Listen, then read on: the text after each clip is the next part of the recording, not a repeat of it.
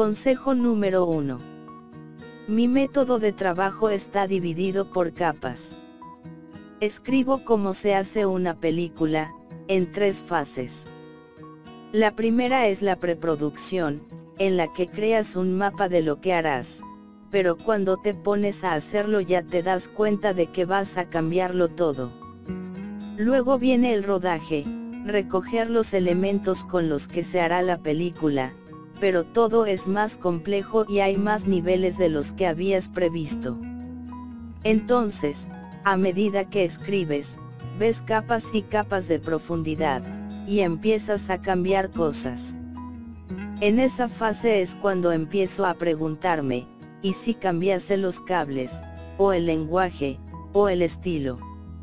Ahí creo la tramoya, que para el lector ha de ser invisible. El lector ha de leer como agua, le ha de parecer todo fácil. Pero para que sea así hay que trabajar mucho. Consejo número 2. Un escritor nunca olvida la primera vez que acepta unas monedas, o un elogio, a cambio de una historia. Nunca olvida la primera vez que siente el dulce veneno de la vanidad en la sangre y cree que, si consigue que nadie descubra su falta de talento, el sueño de la literatura será capaz de poner un techo sobre su cabeza, un plato caliente al final del día, y, lo que más anhela, su nombre impreso en un miserable pedazo de papel que seguramente vivirá más que él. Un escritor está condenado a recordar ese momento, porque para entonces ya está perdido y su alma tiene precio.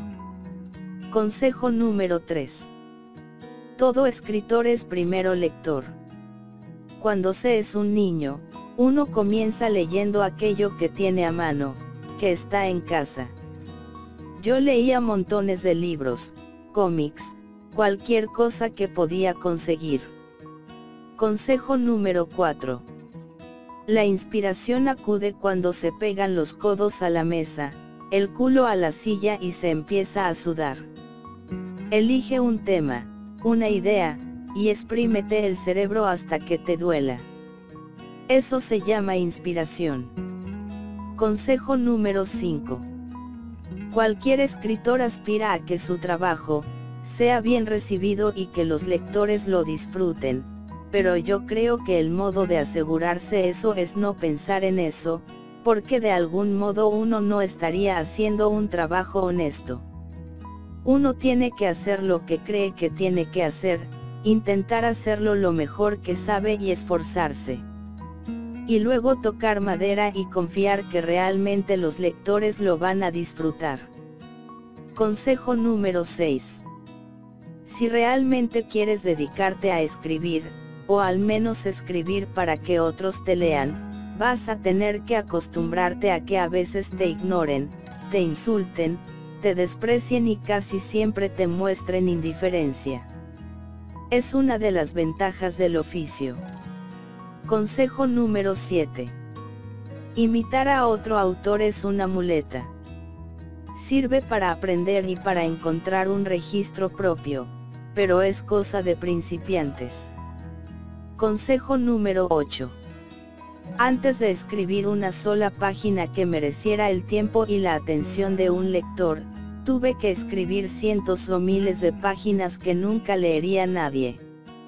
Consejo número 9. Escribir es un oficio que se aprende, pero que nadie puede enseñar. El día que entienda usted lo que eso significa, será cuando empiece a ser escritor. Consejo número 10. Por norma general, cuanto más talento se tiene, más duda uno de tenerlo. Y a la inversa. Consejo número 11.